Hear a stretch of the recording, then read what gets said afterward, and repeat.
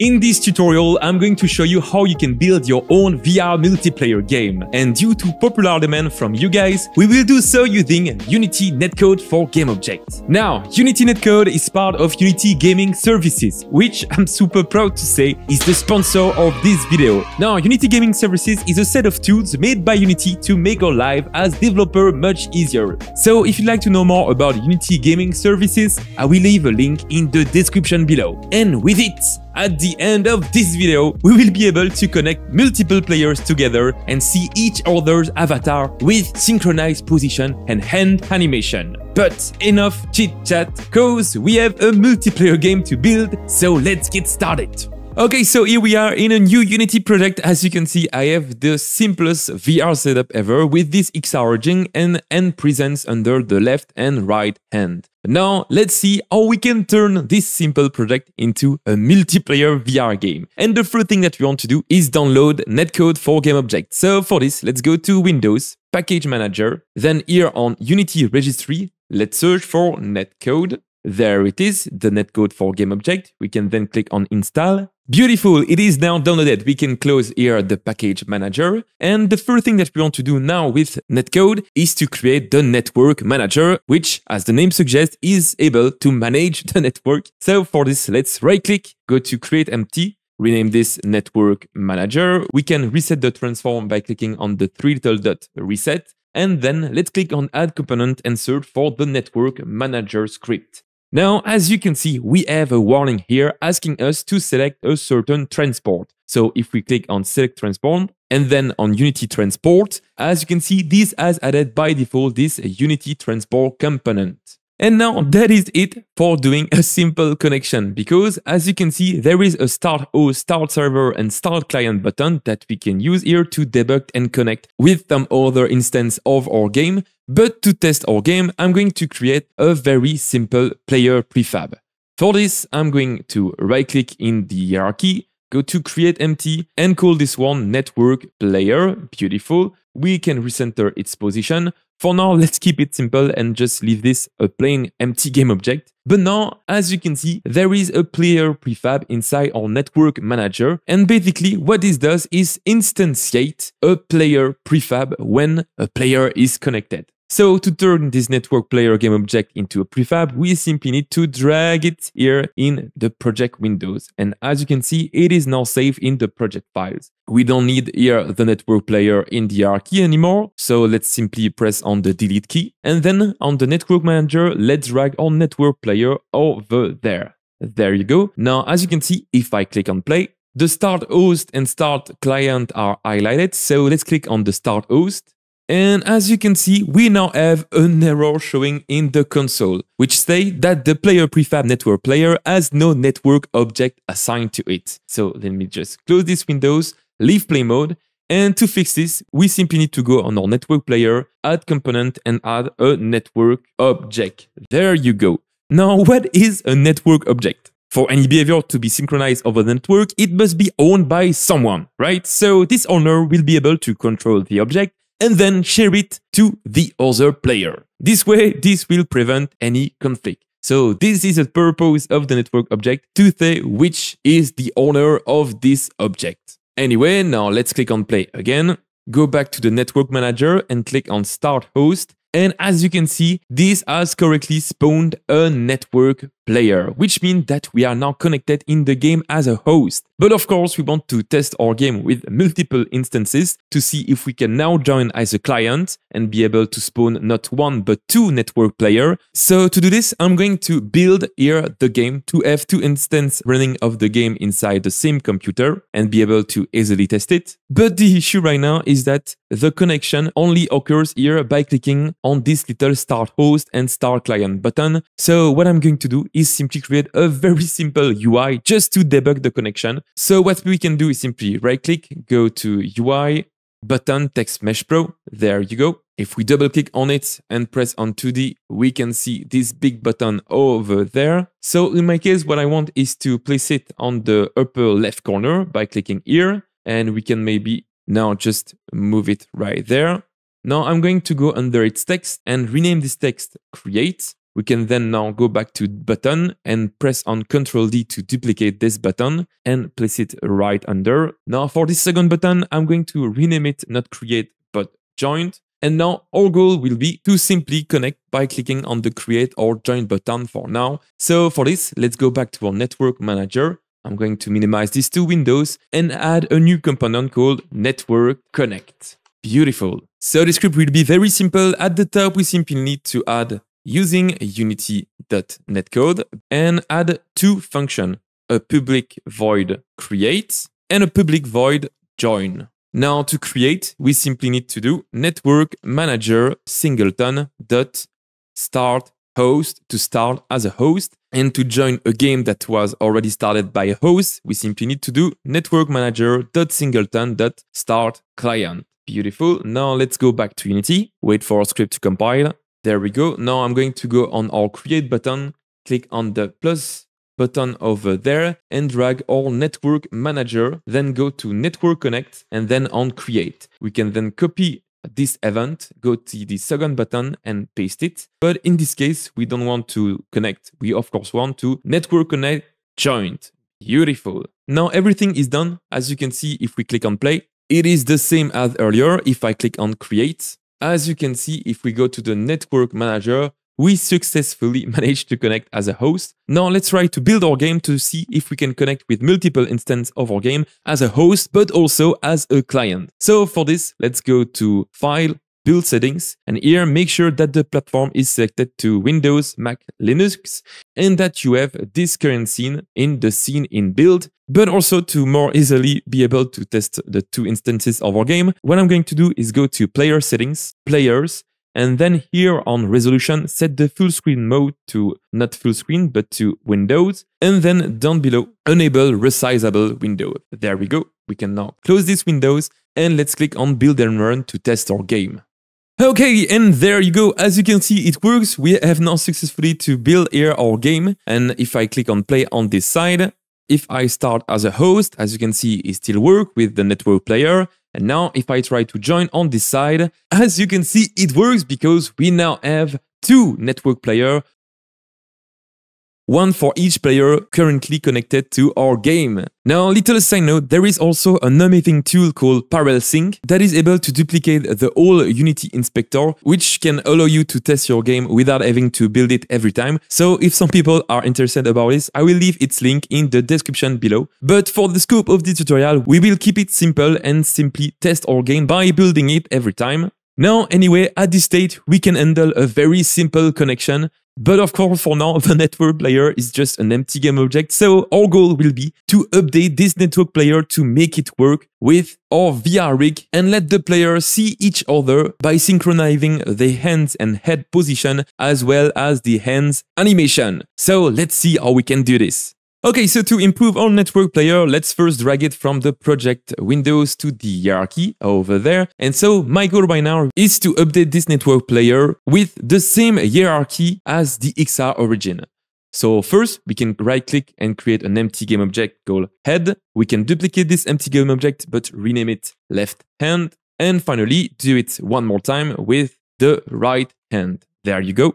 So what we want is to have end presents under the left end and the right end of our network player for the other player joining our game. And so this left end model is actually something that I made in my tutorial series on how to make a VR game. So if you don't know how to make it, go watch this video that I will leave in the description below. Now, anyway, in my case, I have the prefab for the left end model that is located under the Oculus Hand folders prefab and there it is. I can simply drag the left hand model under the left hand as well and do the same for the right hand model. Now, I think it would be nice to also have a head model for the network player joining our game. And before starting this tutorial, I've actually modeled a little head over there, which is looking really nice.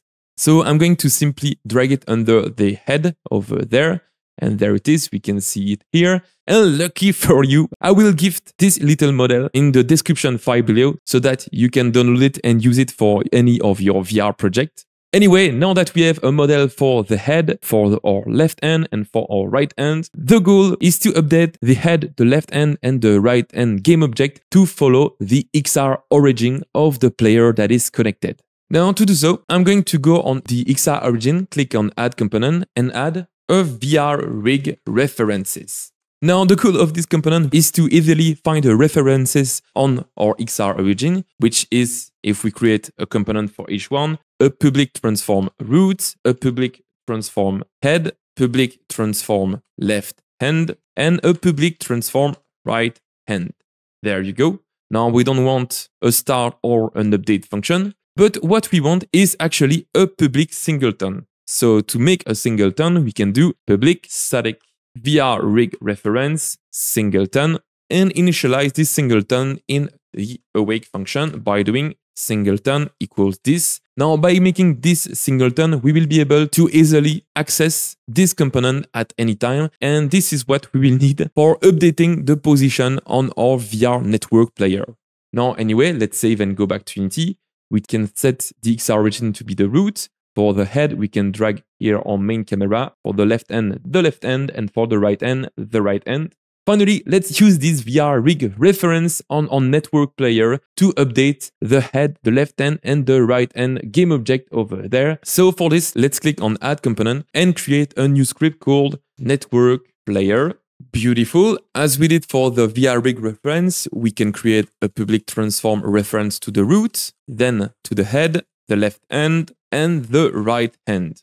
And in the update function, we can simply update the position and rotation of all of these transforms using the VRRig references. So for this, let's do root.position equals VRRig references dot singleton dot root dot position. Now let's copy and paste this and instead of the position, we want it to be the rotation. There you go. Now let's copy this again, but this time do it for the head. And let's do this two more time, but this time for the left and right hand. Beautiful, but there is only one issue with the current setup, which is, of course, right now, when each player have their network player spawned, the position and rotation of all the body parts of this network player will be updated by only one person, which is not what we want we of course want this network player to be updated only by its owner, which is the player that is connected. And to be able to know if we are the owner or not, it is really simple. We can simply do at the top using unity.netcode. And because we have a network object that is located on this network player, we can override not mono behavior here, but the network behavior. Beautiful. And now in the update, we can check that if we are the owner, only in that case, we can make the network player follow our local XR origin references. Beautiful.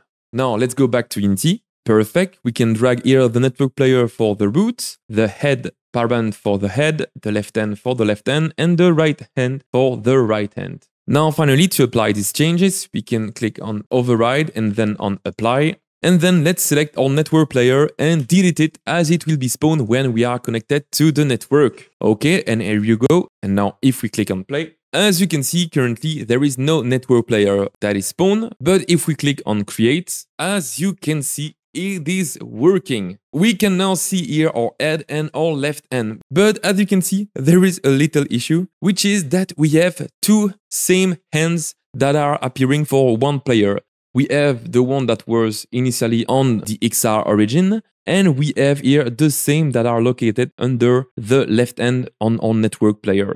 So let's see how we can actually disable one of the two ends. And to do so, we can of course use the ownership again on our network player. So let's go back to our script and I'm going to create a public renderer array called mesh to disable. And then at the start of the game, we can do for each and browse on all of our mesh to disable and do item.enable equals false. And we can of course do this only if we are the owner. This way, in the case of the local network player, we will only have one set of n showing at a time. So if you are doing anything when a network behavior is spawning, the best thing is to do it here on network spawn function that we can override. So instead of doing this, let's copy and paste it over there and simply remove our start function. This way, this will make sure that we are first connected to the network before we are actually trying to do any network behavior, which is not the case in the start function. Okay, now let's go back to our network player and I'm going to double click on it here to open it in prefab editing. And for the mesh to disable, let's drag our head model over there and as well as the hands renderer that is located here. Now let's do the same for the right hand with here the hands are hand and beautiful. Now if we go back here and click on play, as you can see, if I join as a host, it is working. The head model is uh, disabled for the local player, as you can see over there. But now let's see how this works when two players are connected together. Okay, so as you can see, I have two network players that are connected here. But the issue is that even if I move on one instance of my game, it is not synchronized over the network. And this is because, of course, we can move the network player that is spawned locally, but we are not sharing to the other players the update that we are applying to it. And so, to do this, we need to go to our network players and select all of the body part that we want to be synchronized. So in my case, the root, the head, the left hand, and the right hand. Let's click on Add Component and add a network transform. Now, as you can see, the network transform is responsible to synchronize the position of a game object over the network. And here you can choose to synchronize the position, the rotation, and the scale as well. Now, in the case of this project, we don't want to synchronize the scale, so let's simply disable this. And there you go. Now let's press on Ctrl S to save and go back. Okay, so as you can see, it seems to work. When I move on the left eyes, it is seen by the client but there is a big issue. If I go to the other instance of my game, as you can see, it does not seem to work. All the network avatar body part stays at the ground. So the synchronization is not applying over the network. And the reason is that if we go to our network player and have a look at the network transform, this network transform is server authoritative. So, when a network object is owned by one of the player, it is called client authoritative. And you guessed it, when it's owned by the server, it's the other things. Making something server authoritative helps to kind of verify a change that happens in your game, but it can also add some additional lag for the information to move to the server and back to the client. And also, of course, it means that only the server can apply the changes of the network transform to the client. So not a client to the server. So our goal now will be to make this network transform client authoritative. And lucky for us, it's not very complicated to do. We can remove the network transform on all of the body parts and instead add a network transform client. Now on this script, we can simply add a using unity.netcode.components, remove the start and the update, and instead of mono behavior, we want to override the network transform. And to turn this network transform from server authoritative to client authoritative, let's simply do override on is server authoritative. And instead, we want to return false. Beautiful. It was very easy, as you can see. Now, anyway, we can select back the old body parts and redo what we've done previously, which is remove the different scale. And now if we go back and that we test our game with two instances, and as you can see now, it seems to work. On the right side, I have both the position of my head that is synchronized and on the left side, it is working as well. So congratulations, we managed to successfully create a network player with synchronized position. But of course, if we ever look at the animation of our hands, there is kind of an issue right there because we can not only control the hands of our own avatar, we can do so with all of the other as well. So of course, what we want is for each player to be able to control their own avatar animation and have it synchronized over the network. So let me show you how we can do this next. Okay, so to synchronize the animation of one network player, it is a bit the same as synchronizing the position of the body part, which is we need to take control of our own animation and share it to the others. Now, currently, if we go to our network players, then on the left hand and the right hand model, the thing that is responsible to animate the hands is here the animate hand on input that we made together in my tutorial series on how to make a VR game. And as you can see, this is very simple. It basically listens to an input action and will apply it to the animator. But of course, this does not take into consideration if we are the owner of this avatar or not. So let's make a script that will copy exactly what this script does, but taking into consideration the ownership. So let's select both our left hand and our right hand model, click on add component and create a network animate hand on input. Now the technique is to simply copy everything that is inside the animate hand on input component and paste it on the network animate hand on input. We need, of course, to add at the top the same namespace, so using Unity Engine dot input system. And to cool the ownership, we want to, instead of mono behavior, add network behavior. So first, let's add at the top unity.netcode and then replace it with network behavior. Now, in the update function, let's simply do if is owner and then the rest of the update. Beautiful, and it is as simple as this. Now let's go back to Unity. Okay, so the last thing is now to complete the input action to have the same as this. So for the left hand, we can drag the animator of the left hand on the hand animator. Use reference for both input action. For the pinch, we want it to be the left activate value, which is over there. And for the left grip, we want it to be the left select value. Beautiful. We can now remove the old animated hand on input components. And now let's do the same, but for the right hand. We have now currently set a new network animated hand on input component on both ends which will take into consideration the ownership of this network player. But of course, like it was the case, we can of course animate our own avatar, but we need to share this update to the other players. And to do so, we can simply add a network animator but now, of course, some of you might already know the next step. This network animator is server authoritative. So in the same way that we've done previously, let's make it client by removing this component and creating a new network animator client. Now, same thing, let's add a using unity.netcode.components.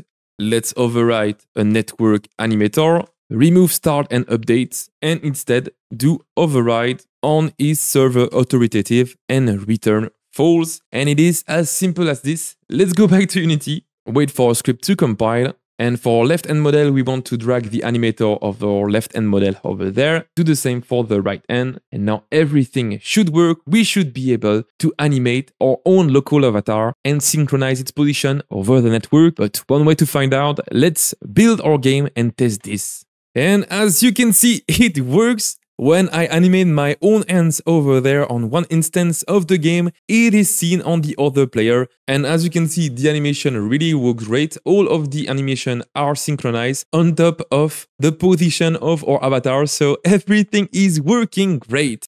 And there you go guys, as you can see, we now managed to easily connect multiple players together and synchronize a beautiful avatar between them with hand animation. Now I hope that you enjoyed this tutorial and if you did, you can thank me by joining my Patreon. It is now completely free to join the community and be notified about my new free post over there. Thank you for watching and see you soon. Bye bye.